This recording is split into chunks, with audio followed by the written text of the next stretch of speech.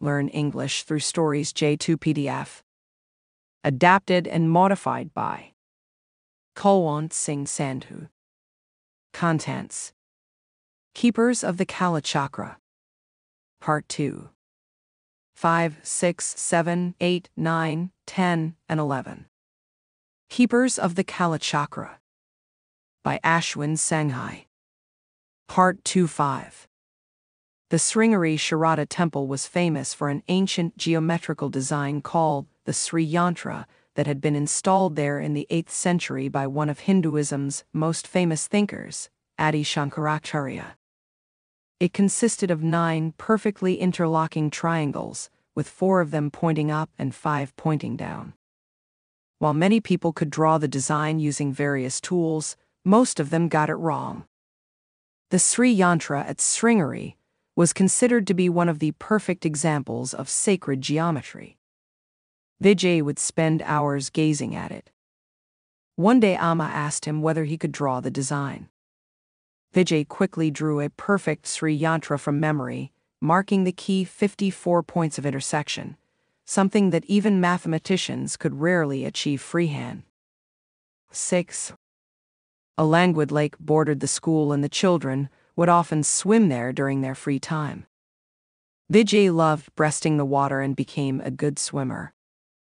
One day he noticed a girl of his age playing in the water with her friends. They were ducking each other into the water. Vijay watched with amusement until he realized that the girl had not reappeared above the surface. He jumped into the lake without a second thought, sliced through the water, and emerged a minute later with her struggling in his arms. After she had recovered, spluttering out the last of the water she had taken in, he asked her name. Sujatha, she said shyly, grateful for what Vijay had done. Sujatha Iyer.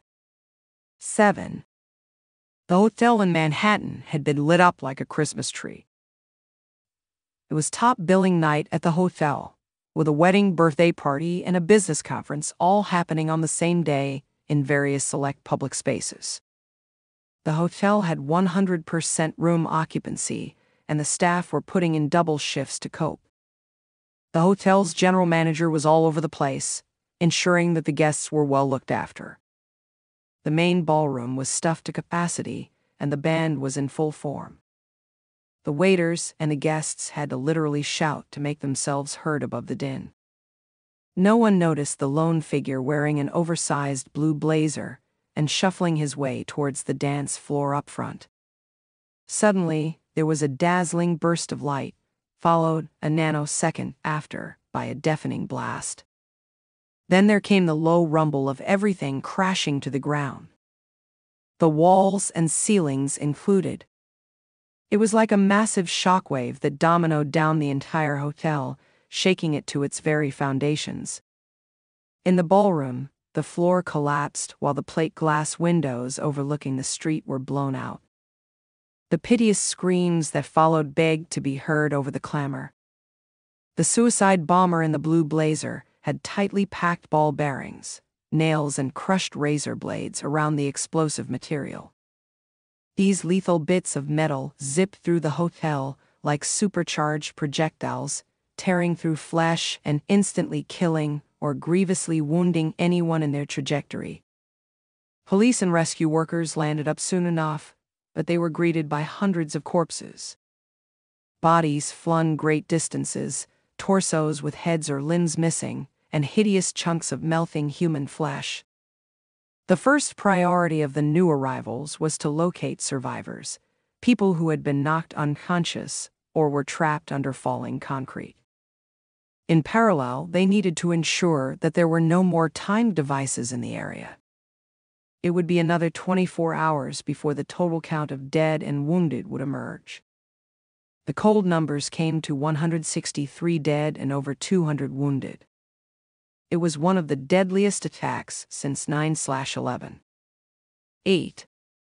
Abu Ahmed al Mafraki was dressed in sandals and a pilgrim's ihram. Two pieces of white seamless cloth, one tied around his waist and reaching below his knees, the other draped over his left shoulder and knotted at the right side. His dark eyes framed by bushy eyebrows, and his black beard interlaced with streaks of white completed his look of sacrosanct authority. Earlier that morning, he had washed, prayed, and consumed a simple breakfast from the tent's buffet along with his companions, appreciating the sense of brotherhood that this communal eating afforded him. He had declined the offer of a swanky $2,700 and room overlooking the Kaaba. What was the point of performing Hajj as though it were a designer holiday? It was the largest annual gathering of human beings, and for the moment, Mafraki blended with the three million other pilgrims to the Hajj in the last month of the Islamic calendar. But he wasn't any other pilgrim. The Mabahith, the Saudi secret police, was keeping a close eye on him. He was on his seventh and final tawaf circuit around the Kaaba, having effortlessly done the first three at a nimble clip as required by tradition and slowing down for the next four. The crowds respectfully made way for the distinguished figure in their midst when he bent down during each circuit to kiss the black stone. Around him, his security detail also performed the tawaf in sync. Accompanying him was Habib bin Wadi, his second in command. Tawaf completed, the men prayed at the Maqam Ibrahim and made their way to drink water from the Zamzam well. Refreshed, they walked back and forth seven times between the hills of Safa and Marwa, close to the Kaaba. It was a comfortable walk because the entire stretch was now enclosed by the Masjid al Haram Mosque, accessed through air conditioned tunnels. It was a respite from the 48 degree heat of Mecca. They headed back towards their tents to rest before embarking on the remaining stops on the Hajj route. Mina, Arafat, Muzdalifah, and Jamarat. As they walked, Mafraki turned to Habib. The timing is auspicious, he said in a low tone. Our brother in New York has done us proud. After this Hajj is over, we will ensure that every Muslim brother around the world will rise up and defeat the Kafirs. This will, inshallah, lead to a golden age of the Ummah living under Sharia. Caliphate Rasul Allah, began Habib hesitantly. The title simply acknowledged that Mafraki was already viewed as caliph by millions of Muslims around the world. What about those countries in which the majority is non Muslim? There are only two types of countries in the world, said Mafraki. The first fall under Dar al Islam, or where Muslims rule under Sharia. And the other, asked Habib a little unnecessarily, everyone knew the answer, because the boss liked to intone platitudes. Dar al Harb, or lands of war, where we need to fight to establish Muslim dominance. Islam took over Mecca, Medina, Jerusalem, and Constantinople. Rome is the last bastion. It shall eventually be the capital of my caliphate. But we have many Muslims around the world who do not think alike, said Habib. Our brothers living in America, England, France, and Belgium have adopted new habits and rules. Many of them have become murtad apostates. It is their foolish desire to assimilate, said Mafraki. They want to be more like their hosts to fit in, but what will happen when their hosts turn against them? They will have no alternative but to return to their Muslim roots. That is what we must accelerate. 9. Mafraki had been born in the city of Mafraq. Alan, for that was what he was originally called, had been a difficult child. His parents were ordinary working class Jordanians. His father, a municipal engineer, and his mother, a devoted housewife whose entire life was spent looking after the nine children she had borne her husband. Alan was the youngest. The family lived in a derelict house that overlooked a garbage dump. It was the dump that became Alan's introduction to drugs, alcohol, and crime. Alan dropped out of school and then succeeded in getting himself sacked from the job that his father had arranged for him. But he excelled in his chosen career as a street Arab instead. He rapidly progressed from petty theft to vandalism to drug dealing and then eventually to rape and murder. None of these traceable to him. The feats of violence, which made him a byword in the small and secret criminal world he inhabited, included slashing the face of an old man for rebuking his ways brutally sodomizing a boy till he hemorrhaged to death, and his indescribable cruelties to the hookers he pimped for. And then something changed. A new preacher moved into the neighborhood and arranged for Alum, just the right age and with no known record of misbehavior, to marry his niece. He nudged Alum towards religious classes at the local mosque, convinced that the young man would find role models in such places. The strategy worked like a miracle. Alum gave up drugs and booze and delved into Islamic studies with all the zeal that he had once reserved for crime. He became a permanent fixture at choir and discussions and prayer meetings. He eagerly consumed all propaganda videos and audio recordings of speeches relating to Afghanistan, Bosnia, Palestine, Kashmir, Xinjiang, and Chechnya. When the Imam asked for volunteers to fight the communists who were attacking Muslim brothers in Afghanistan, Alum's was the first hand that went up. He reached the Afghanistan Pakistan border a month later, just in time to be part of the action to drive the Soviets out for good. His bravery on the battlefield was often mistaken for foolhardiness, but it always seemed to work. It was as though he longed for death more than anything else. Whenever he had free time, he would visit the mosques of Peshawar, usually moved to tears by the Imam's sermons, fervently hoping for martyrdom one day. 10. By the time that Alam returned to Jordan a few years later, he was a battle hardened mujahid whose mental circuits had been irreversibly altered by the Arab clerics of Peshawar. Alum found himself angry with the liberalism of Jordan. He hated the fact that women dressed however they wanted, that couples mixed freely at cinemas, that liquor stores and pimps flourished. The fact that he had once been part of that ecosystem only seemed to make him more determined to destroy it. Alum was convinced that divine intervention was possible. After all, a motley army of mujahids from Muslim lands had sent the Soviets packing. The very notion was unthinkable unless one considered the hand of God. If Allah led them towards that unbelievable victory in battle, why would He not help Alum establish a caliphate? One where His will would prevail.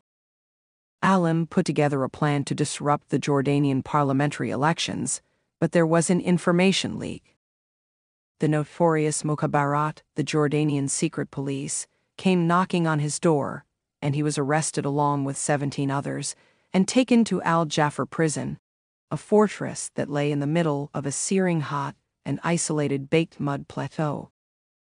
Not a blade of grass nor a human being was visible for miles around. It was the most dreadful place on earth. The prison was infamous. New inmates were routinely sodomized, administered electric shocks, burnt with cigarettes, or suspended upside down from ceiling fans or hooks. Alum not only survived, he also became the undisputed leader among the inmates. He regularly led prayers, and his word was law. Upon the death of the ailing King Hussein and the coronation of King Abdullah II, Alum was released along with 2,000 other Jordanian prisoners, as part of a general amnesty.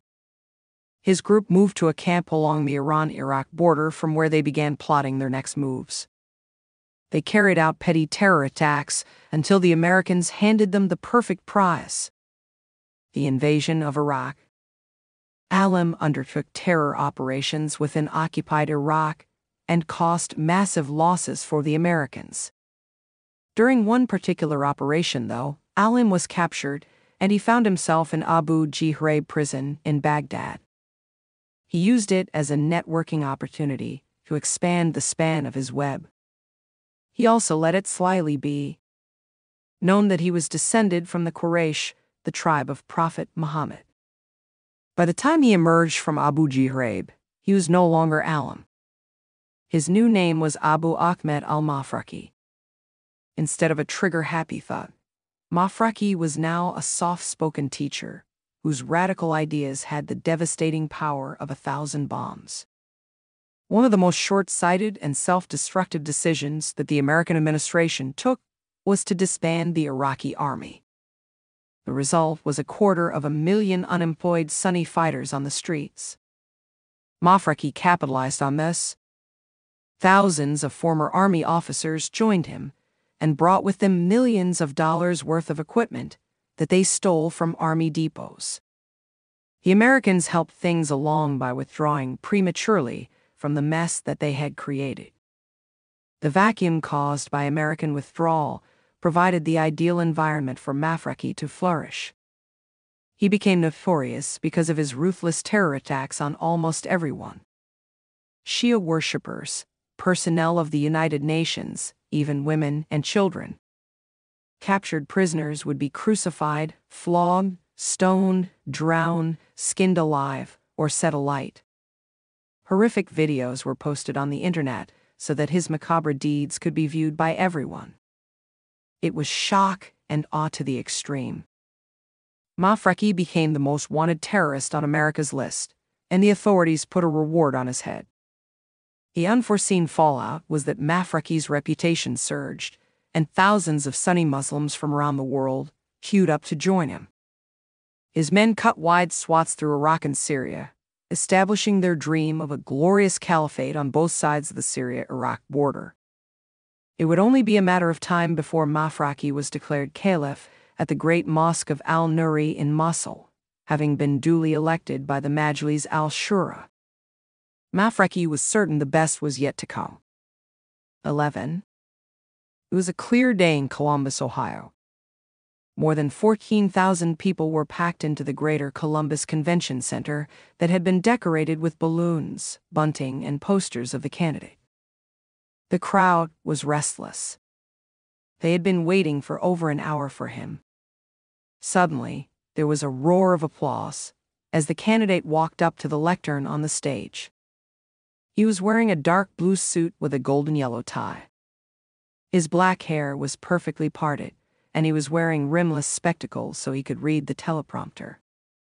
Thank you, Columbus, for your very warm welcome. It's great to be in Ohio this afternoon, he said, waving enthusiastically to the crowd. Today is a very important day on my campaign tour. It is the day I begin outlining my plans to make America secure. Our country has, in its great and valiant history, succeeded in erasing the evil designs of forces as malevolent as fascism, Nazism, and communism. Today, we are faced with a challenge that is far greater, yet another, ism. You know of what we speak? The hydra headed monster of Islamism and terrorism. And let's call it what it is. It constitutes that most insidious threat to the home of the brave, the crowd was enthusiastic. It was refreshing to hear someone who wasn't afraid to give a monster its name.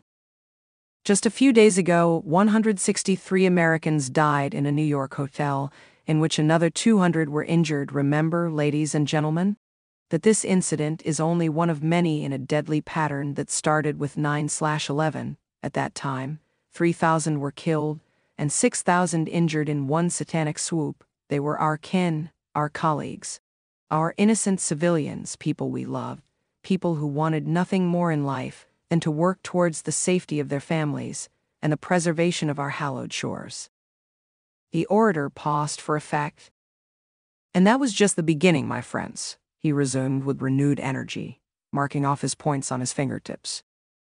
Since then, the Boston Marathon bombings wounded 264 people while another 14 blameless Americans were gunned down at an office party in San Bernardino, at which 22 were injured. At the Pulse nightclub in Orlando, 49 Americans were killed, and another 53 were injured. It was the ghastliest mass shooting in America and the worst ever attack on the LGBTQ community. Are we going to let all this continue? He thumped the lectern in front of him in tandem with the applause and cries from the audience of, Never again, never again.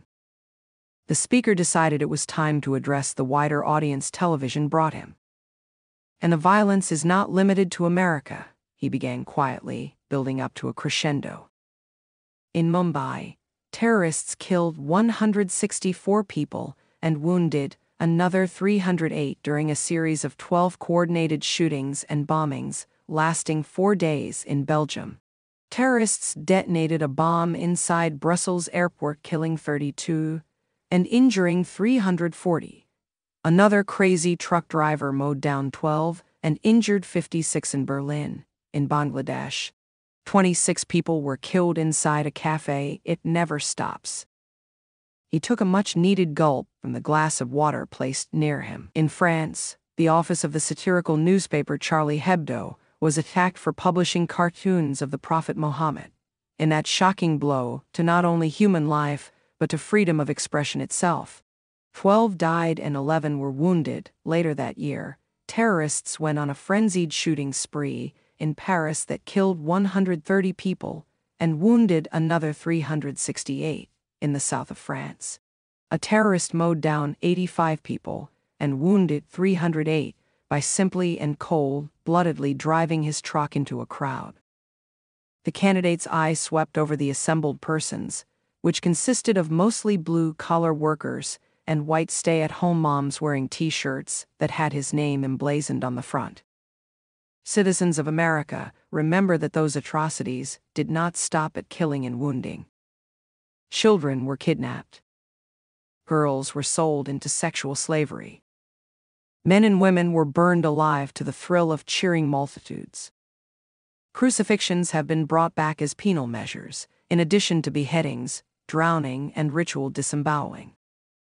Holy sites, ours, theirs, have been desecrated or bombed. Ethnic minorities have witnessed mass executions. Non Muslim populations are being ethnically cleansed. My friends, we will never again let such evil perpetuate itself, nor can we let the vengeful ideology of radical Islamism and its oppression of women, gays, apostates, and non believers be allowed to spread within our own borders. We must defeat this hateful ideology and the terrible creatures that it spawns, just as we have exterminated such vermin in the past. There was a thunderous ovation and hoots of approval one section of the audience began chanting his name. The candidate smiled and waited for the crowd to settle down. He had kept an important point till the last. There are political leaders in our country who wish to pussyfoot around the issue. They are unwilling to even name the enemy. They wish to close their eyes to the bloodshed that has been the direct result of this ideology. They mouth platitudes but are unwilling to call evil what it is. I stand before you today to tell you that enough is enough. I will not allow this to continue. If I'm given a chance to serve as president of this great country, I will ensure that this threat is destroyed, once and for all. The crowd went wild as he uttered those words.